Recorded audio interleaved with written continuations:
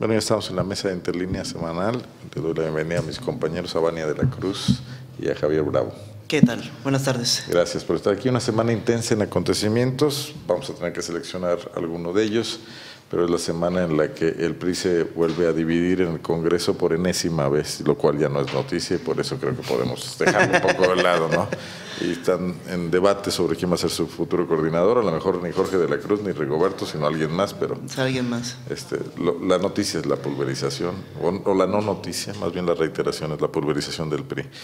Bueno, eh, la semana en la que llega un eh, militante de, de, la diversidad sexual al Ayuntamiento de Guanajuato como regidor, Rubí Suárez Araujo. Ya hemos platicado de esto ampliamente. Creo que hay que ver cómo se desenvuelve, cómo se desenvuelve su partido político y el resto del cabildo. Si su partido realmente se respalda. ¿no? Exactamente, su agenda y qué agenda plantea. También es un reto para, para ella ¿no? y para el movimiento de la diversidad sexual. Bueno, también eso lo, lo iremos analizando. Pero aquí en León, en algo que es la continuidad de cosas que hemos visto antes, esta semana se registra la confrontación más o menos abierta entre los dos síndicos, que además son dos exalcaldes, que además son los dos pilares que se, ve, que se preveían de la administración de Héctor López Santillana, Carlos Medina y Luis Ernesto Ayala, producto de una cuestión como que muy menor que Medina Plasencia saca en una sesión de cabildo del cuestionar al, ex contralor del municipio de León, Alberto Padilla, que lo fue con Bárbara Botello y con Octavio Villasana, la defensa que hace Luis Ernesto, y luego se, vinculan otras cosas que van y ahorita nos platicas de procesos de adquisiciones, Medina preside la comisión de adquisiciones, eh, pero bueno, lo central es político, ¿no? Se veían dos integrantes del Grupo León, el grupo de exalcaldes, pero igual que en el PRI, hasta los amigos se andan peleando aquí en el, en el Cabildo de León, ¿no? Así es, esta semana, pues ya como lo consignamos, eh, se da este desencuentro entre las opiniones de Carlos Medina Plasencia y de Luis Ernesto Ayala. Primeramente por un, un señalamiento que hace Carlos Medina en, el, en, la sesión de ayuntamiento, que nadie tenía, nadie vio venir, como, como se puede y menos decir. que nadie Héctor López. Exactamente. Él, Carlos Medina habla de que ya había hecho estos señalamientos previamente a miembros de del Cabildo, entre ellos Luis Ernesto Ayala, pero pues por lo menos a más de uno sí tomó por sorpresa, eh, primeramente cuando hace este llamado a que se audite el trabajo de, de, Alberto Padilla, en el que habla que fue un trabajo pobre el que realizó en la pasada administración y que pues que hay que agilizar los procesos de las auditorías para fincar responsabilidades a exfuncionarios que hayan participado en irregularidades. Y a la par hace un señalamiento sobre una compra de cinco cámaras para el parque lineal de la Sardaneta eh, por 850 mil pesos que se fueron por asignación directa al tener un monto menor y pues que al parecer la, la, manera en la que se hizo esta asignación no fue la adecuada porque hubo nueve participantes, siete dijeron que no podían cumplir con los requerimientos que hacían en esta invitación, que era de, de colocarlas en dos días, sale el 28 de diciembre y el 30 de diciembre tienen que estar listas.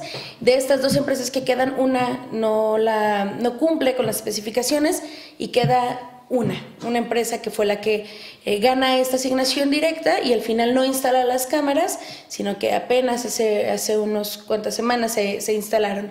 Entonces, estos, estos dos señalamientos y pues al día siguiente sale Luis Ernesto ya la primera la defensa. Te interrumpo nomás para comentar algo, y en ambos casos hace eco la oposición a Carlos Medina. O sea, Carlos Medina de alguna manera termina sumado con la oposición en el ayuntamiento. Exactamente. La, la, oposición muy minoritaria. De hecho, eh, termina la, la, sesión de ayuntamiento con este, estos pronunciamientos de Carlos Medina e inmediatamente se para Sergio Contreras a, a, hablar en lo corto con él para preguntarle a qué se refiere con esa compra de las cámaras, porque tampoco Sergio Contreras estaba enterado de esta asignación directa. Y bueno, pues él le dice que ya lo había comentado con algunos miembros del Cabildo, entre ellos Luis Ernesto Ayala, que preside la Comisión de Gobierno, y eh, pues ahí quedan eh, eh, que van a analizar este proceso por la manera en que se dio. Salvador Ramírez Argote del PRI pues no estaba presente, pidió, pidió permiso para ausentarse de esa sesión de ayuntamiento y pues bueno, quien se suma a él es, Sergio Contreras. Vaya manera, y vaya manera de confrontarse y quiénes están confrontando. Lo, lo, escribía, escribíamos en Off the Record con una valiosa colaboración de Bania. Yo creo que lo, lo, definiste muy bien. El máximo damnificado de todo esto pues es Héctor López Santillana. Los dos eh, síndicos, exalcaldes de León, pues llegaban con un papel más bien para, eh, digamos, salvaguardar la inexperiencia que tenía en cargos de elección popular Luis, eh, Héctor López Santillana, pues hoy chocan ellos dos, esta semana chocan, y, pero hay una, una, un aspecto muy interesante. Eh, Carlos Medina Plasencia preside el Comité de Adquisiciones. Así es. Luis Ernesto Ayala preside la Comisión de Gobierno. De gobierno. Es decir, uno tiene un brazo operativo que se dedica a hacer las compras y otro tiene en su, vamos, podemos decir, bajo su dominio, bajo su expertise, las comisiones que se dedican precisamente a controlar las decisiones que se toman. ¿no? Entonces tenemos por un lado a alguien que se dedica a hacer compras y otro que se dedica a investigarlas. El hecho de que haya esta confrontación, quizás para la función pública, no sé, una confrontación de este tipo, eh, independientemente de que sean panistas, pues sería conveniente, ¿no? Porque uno se dedicaría a fiscalizar al otro. Pero para efectos de gobierno, me parece que es grave, y grave para Héctor López Santillana. Eh, eso por un lado, está también el asunto de la modificación del reglamento de adquisiciones, donde la gente que está detrás de Luis Ernesto Ayala, pues bueno, lo que ve es Carlos Medina quiere meter mano, este, de alguna manera para tener ese dominio y ese, esa facilidad de operación estando en el comité con un reglamento que él mismo pueda diseñar. Eh, un tanto también se lee el, aspecto de no permitir la opinión ciudadana en esta reforma al, reglamento de adquisiciones que además ya está publicado en el diario oficial del Estado. Entonces, son una serie de ingredientes que ahorita es una discordancia, pero al rato puede ser un conflicto y una guerrilla interna que sea superior incluso a lo que pudiera provocar la propia oposición, que me parece que ya tiene un papel muy definido, si bien Sergio Contreras tiene ya eh, este, una, una convicción, digamos, de estar señalando, de estar cuestionando, de estar este, indagando, eh, me parece que el resto de la oposición, en Salvador Ramírez Argote y, y, y Norman Zúñiga, pues realmente les dejan el papel muy fácil, que se dedicaría solamente a pues velar porque no se denoste a la administración anterior. Un trabajo que se les está facilitando mucho con estos enfrentamientos. Bueno, yo me quiero ir un poco más atrás, porque eh, de repente vemos las consecuencias, pero hay que revisar las causas, porque es donde podemos analizar los actores políticos. ¿Cómo llega Medina a este ayuntamiento? O sea, Medina llega por eh, ese conflicto en el que Gerardo Trujillo mete a Miguel Márquez al iniciar un proceso del que se toma el CEN del PAN para postular a Sheffield como el candidato más popular, más conocido. Y en el intento Márquez por bajar a Sheffield, junta a un grupo de panistas donde está Carlos Medina Plasencia, trata de hacerse fuerte con los líderes eh, de las corrientes o los líderes históricos del panismo, eh, pero Carlos Medina le sale peor que, el CEM porque le veta a Diego Sinué, le veta a Héctor Jaime Ramírez Barba, ¿no? Entonces, bueno, hay que recordar eso para ver cómo se decide el candidato en León y su ayuntamiento. Y se decide en medio de jaloneos, ¿no? nadie se sentó a platicar, no hubo un cuarto de guerra. Gerardo Trujillo no hizo la tarea, dejó entrar por la puerta de atrás a Ricardo Sheffield. Fue un absoluto desorden. Y estas son las consecuencias de ese desorden. Cuando Márquez trata de retomar las cosas, impedir que el CEN le, le meta un gol en León, su plaza más importante, echa mano de Héctor López Santillana, que ya estaba feliz de la vida, retirado del tema electoral y que no tenía ningún interés. Desinterés que se ve hasta el día de hoy, porque es un político que nunca la buscó, que no la quiso, que no la peleó, que entró por una coyuntura y meten a Carlos Medina Plasencia porque Márquez estaba enojado con él porque había estado en un papel muy protagónico vetando a otros posibles candidatos. Y entonces el gobernador Márquez le dice, pues comprométase, ingeniero, entre usted también, entre a la sindicatura, cosa de la que debe estar arrepentido todo el mundo a estas alturas. Márquez y Héctor López Santillana fundamentalmente, y bueno, Luis Ernesto Ayala. Entonces esos dream teams en la política no funcionan, porque son demasiados egos, ¿no?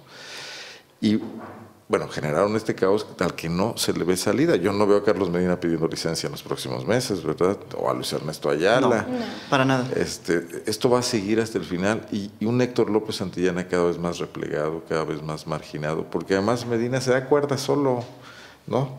Eh, no les avisa, saca temas por todas partes. Dijo una frase, yo no me voy a prestar a, al encubrimiento de, la anterior administración, por eso las quejas contra Alberto Padilla, ¿no? No se puede auditar al auditor, es, es, algo que no puede ocurrir, no tiene facultades el ayuntamiento para revisar, ¿no? Entonces, ni siquiera están operando con las herramientas adecuadas para lograr el objetivo que se pretende. O sea, al final del día no van a poder investigar nada de lo que pasó con, la administración anterior, como lo explicó aquí Alberto Padilla el día que vino a tratar de responderle a Carlos Medina Plasencia.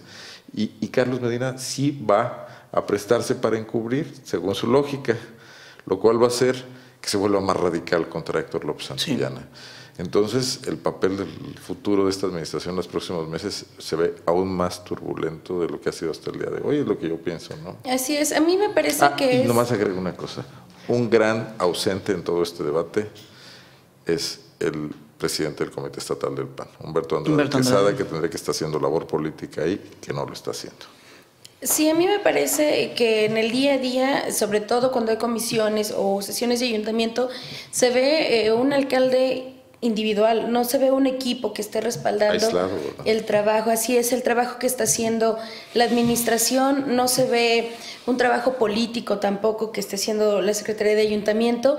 Y bueno, esta, este desencuentro, este primer desencuentro que tienen tanto Medina como Luis Ernesto Ayala, pues eh, evidencia todavía más el trabajo que hacen paralelo o ajeno al, trabajo que hace la administración.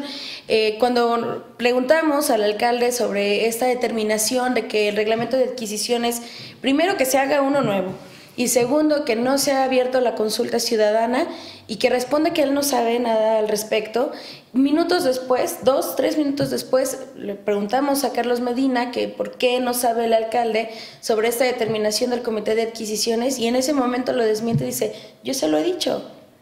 Entonces, bueno, ahí eh, pareciera que la oposición es Carlos Medina y no es parte del, ayuntamiento que se quiere que quiere echar un, proyecto adelante. Y bueno, hablando de los ausentes, a mí me parece que además del líder estatal, hay ausentes muy evidentes dentro del ayuntamiento, porque el resto de los regidores no aparecen. Aparecen en la foto y aparecen de repente acompañando las giras al alcalde, no todos, no siempre, pero de ahí en más, en las sesiones de ayuntamiento pareciera un juego de ping-pong en donde nada más están volteando la cabeza para ver quién tiene la palabra en ese momento, pero no aportan más allá de lo que... Ana María Carpio. Salvador Sánchez Romero. José Luis Manrique. Así es, Betty Yamamoto. Este, Betty Yamamoto, oye, Betty Yamamoto, que no sabemos nada de ella. Exactamente. Exactamente. Y yo creo que eh, hay una cuestión que todavía es un agravante, que, que tiene que ver la regidora cuyo hijo trabaja en el ICL, con Ana María Esquivel. Ana María Esquivel. que solo por eso supimos de ella, ¿no? eh, en la personalidad de ambos, ¿no? Son tan distintos, pero confluyen en algo muy, muy similar. El, el hecho de autoproclamarse eh, próceres de la honestidad, de, de ese, vamos, están empecinados en vivir en un pasado que no es el mismo, las realidades son muy distintas. Y yo creo que podemos vamos, hacer un análisis muy rapidísimo. Carlos Medina ahorita está atado a la cadena de empresas a las, con las que está ligado. Es inevitable. Empresas que él no tenía cuando fue alcalde. Cuando era alcalde era incluso hasta le benefició, digamos, el, revestirse, ¿no? Diciendo soy de una familia de curtidores, ¿no? Y esa era la empresa que tenía y esa empresa evidentemente no era proveedora del municipio. Ahora está ligado a varias empresas que sí participan este, con el gobierno en diferentes licitaciones. Eso ya de plano este, es una, un agravante. En Zona Franca lo, exhibimos este, desde que estaba en campaña. Hay muchas empresas, muchos, este, muchos nexos que tiene él con empresas, eh, o bien directamente o por medio de socios, allegados o incluso familiares. Entonces, esa parte de alguna manera ya lo pone ya en otra tesitura, ya no puede apostarle a lo que la gente pensaba de él. Luis Ernesto Ayala fue alcalde cuando el panismo era súper popular. Y cuando tenía políticos nuevos, donde había este, sacado a Miguel Salim de la iniciativa privada para volverlo este, funcionario público, hoy Miguel Salim tiene ya una carrera política no del todo limpia, muy discutible también, muy cuestionable. Eh, el propio Luis Ernesto viene también de ser este, secretario de Gestión Pública eh, con Juan Manuel Oliva, una administración que por mucho eh, resultó muy polémica. Es decir, ya no son los mismos. Y creo que eso debe entenderlo. Y creo que lo debió entender Miguel Márquez con este, con, este capítulo que nos comentas, ¿no? Al momento de querer generarle un trabuco de querer conformárselo a López Santillana, esto no lo tomaron en cuenta. Y entonces, como dices, no hay un proyecto único. Hay un proyecto que es el de López Santillana, y quién sabe si sea proyecto, este, y el proyecto de Luis Ernesto, el proyecto de Carlos Medina. Cada uno tiene sus propios intereses y eso es inevitable. Es como que la quiebra de una generación política de acción nacional, ¿no?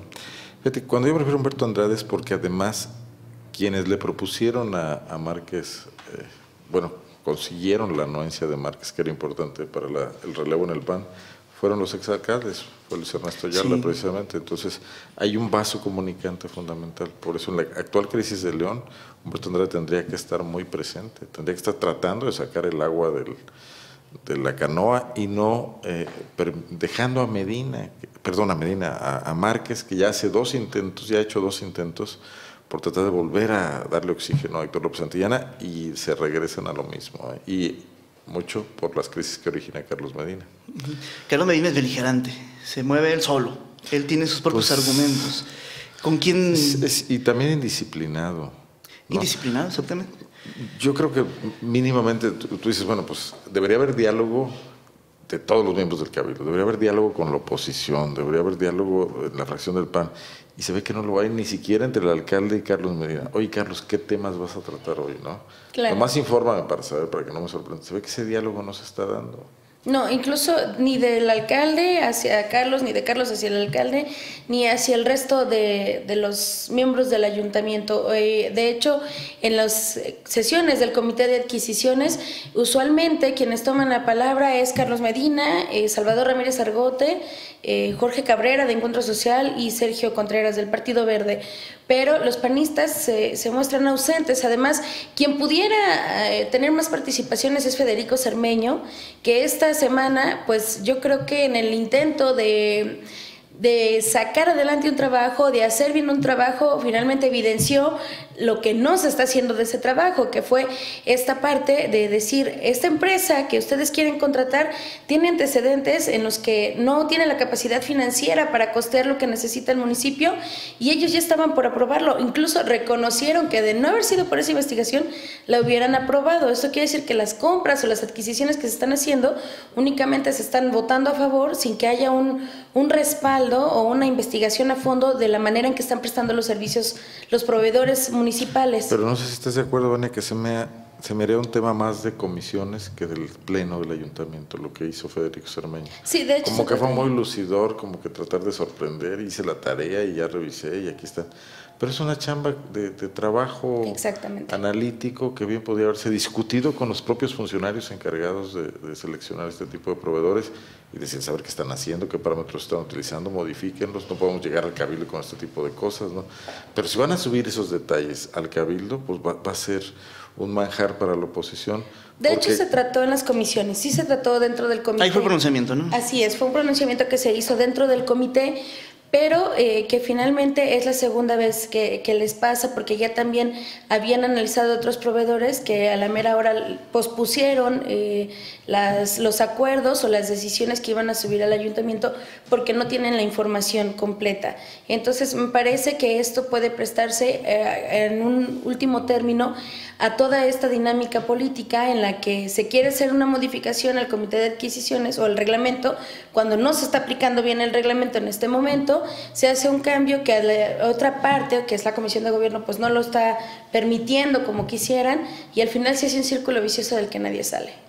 Y está quedando la impresión de que el cambio al reglamento persigue sobre todo blindar los procesos a la opinión pública, ocultárselos, volverlos más opacos, no, más transparentes. ¿no? Así es. Ahí donde se da cruce de acusaciones. Los allegados a Luis Ernesto dicen que Carlos Medina quiere blindarse. Los allegados a Carlos Medina, o el propio Carlos Medina, dicen los de enfrente, quieren proteger a Alberto Padilla. ¿A dónde vamos a llegar ¿no? con, ese cruce de, de informaciones? Que no hacen más que coronar la, poca o nula o deficiente comunicación que tiene López Santillana. Antes ya la habíamos detectado con su gabinete. Ahora resulta que lo hay también en el ayuntamiento. ¿Con quién está gobernando López Santillana? ¿No? Con un staff muy pequeño. Bueno, pero no se vislumbran cambios. Hoy ocurrió uno, por cierto, el del director de tránsito, obligado por las circunstancias. Así es. Eh, la versión oficial que salió a dar el secretario de Seguridad, Luis Enrique Ramírez, es que él mismo presentó su renuncia porque tenía la oferta de trabajo en otra, en otra dependencia que no era de este, de este municipio. Pero, eh, pues, versiones extraoficiales hablan de que lo que ocurrió fue que no dio los resultados adecuados y que se le solicitó su renuncia ayer por la tarde-noche. Y bueno, pues hoy se presenta esta información, lo cual no se escucha tan descabellado porque ya tienen el relevo de, del, del cambio, ¿no? Entonces, si fue una decisión que tomó eh, Salvador Terán solo y que fue a favor de sus intereses personales, pues eso no da tiempo de estar analizando quién se va a quedar en su lugar. En cambio, si ya vienes pensando en un, cambio de, director, pues ya te da un tiempo estimado para, para ver las propuestas que tienes. Y Presentas el relevo incluso. pero están de acuerdo que la crisis no está en tránsito, ¿no? O sea, como que este cambio no va a servir de nada para relanzar nada, ni siquiera como ejemplo para los demás. Así es. Además, el discurso que, manejan... Eh, me parece, en lo personal, que hubiera sido más tajante salir y decir realmente, bueno, si estas no son las causas verdaderas, que se está haciendo un cambio de director porque no dio los resultados que esperaba la administración y entonces enviar un mensaje a la ciudadanía de que realmente hay un trabajo de fondo y que quien no lo está haciendo se va en lugar de decir, no, bueno, es que se va por sus intereses personales. Pero para eso, habrías que empezar por otras áreas, ¿no? Las áreas de la Secretaría del Ayuntamiento, las áreas de comunicación social, ¿no? el de tránsito, donde yo insisto, no veo la crisis en tránsito. Sí, me, parece que tiene que haber una razón muy concreta, porque no veo dónde sea un cambio realmente político, un, cambio que tenga que efectivamente traducirse en un, en, un trasvase. Digo, al final de cuentas, si Márquez este, metió la mano y y provocó la crisis que hay con los síndicos y el, alcalde, pues bueno, esta es una recomendación de, de Álvaro Cabeza de Vaca y Carlos Amarripa. ¿no? Esto, este, este, este cuadro, digamos, que, que, tiene que ver con, con, Salvador Terán de Santiago, ya venía dándose desde Irapuato. ¿no? En Irapuato, eh, precisamente, Carlos Amarripa, Álvaro Cabeza de Vaca, le recomendaron a Sixto Cetina a Salvador Terán para que fuera director de Seguridad Pública. Lo recomiendan ahora con, en tránsito y también hay una, una descoordinación. Y ahora como detalle nada más, eh, un agregado, justamente hoy en la mañana el carril de la oruga amaneció con operativos de tránsito para que no se pasen los carros particulares a transitar por ahí, que era una queja recurrente de los transportistas. Entonces, los transportistas amanecen muy contentos porque nadie les está bloqueando el carril y minutos después se da a conocer que se va a salvar. Bueno, muy bien. Si les parece, les informo rapidísimo. Sí, por favor. Este, Jorge Hernández nos, ya nos informa, debe estar ya en la página de Zona Franca. Una mujer fue ejecutada a balazos en el interior de un automóvil en el fraccionamiento Hidalgo. Esto sucedió a la 1.40 de la tarde de hoy. Eh, se reportaron detonaciones en las calles Tancítaro e Ignacio Pérez. En el interior fue, es un eh, auto tipo Bora, este, color gris. Ahí quedó en el interior el cuerpo de la mujer, que hasta el momento no ha sido identificada. Eh, versiones extraoficiales señalan que tres hombres a bordo de un Nissan Suru color blanco fueron quienes realizaron las detonaciones.